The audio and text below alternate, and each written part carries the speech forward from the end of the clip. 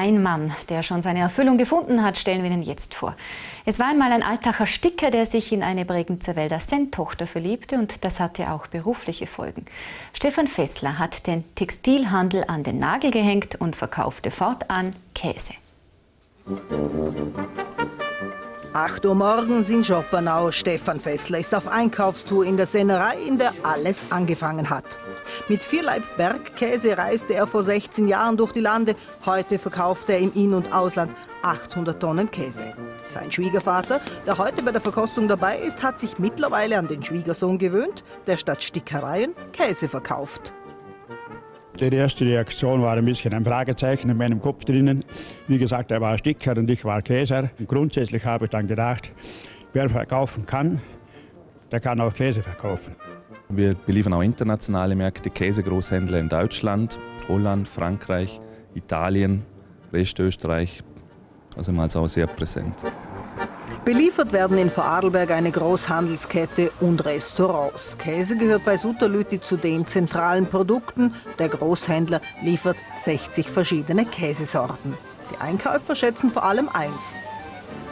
das richtige Gespür, die Nase dazu, der Kontakt zu den Leuten und ja, das Richtige zum richtigen Zeit der richtigen Menge zu haben.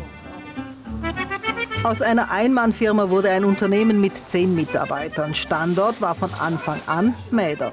Regionale Produkte und internationale Spezialitäten. Damit hat der 40-jährige Stefan Fessler den Markt erobert. Allein in dieser Halle lagern 450 Käsesorten im Wert von 200.000 Euro.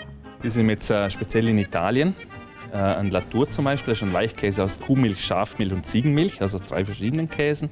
Das ist eine Spezialität. Hier haben wir zum Beispiel jetzt Frankreich, ein typischer Camembert, affiniert mit Calvados-Bröseln. Sieht man dann auch ganz fein, also typisch ausgereift, mit verfeinert mit den Bröseln. Für Feinschmecker und Liebhaber regionaler Köstlichkeiten ist Käse zu einem unverzichtbaren Lebensmittel geworden.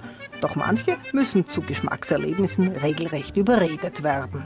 Äh, vor allen Dingen die Männer sind äh, mutiger beim Käsekauf als die Frauen. Das habe ich also ganz klar festgestellt. Also die trauen sich einen Käse, der vielleicht optisch nicht ganz so ansprechend ausschaut, zum Probieren, was Frauen nicht ganz so tun. Also Frauen gehen mehr auf die Optik. Käse fasziniert und es gibt immer wieder neue Geschmackserlebnisse zu entdecken. Das, was ich eigentlich äh, noch möchte, sind ausgefallene Milchsorten. Also das sind äh, Lama-Käse, also aus Lamamilch, beziehungsweise aus, äh, gibt es auch Büffel, Büffelmilchkäse, also so Milchsorten, die bei uns nicht so bekannt sind. Und so bleibt die Suche nach Käsespezialitäten aus aller Welt eine spannende kulinarische Reise.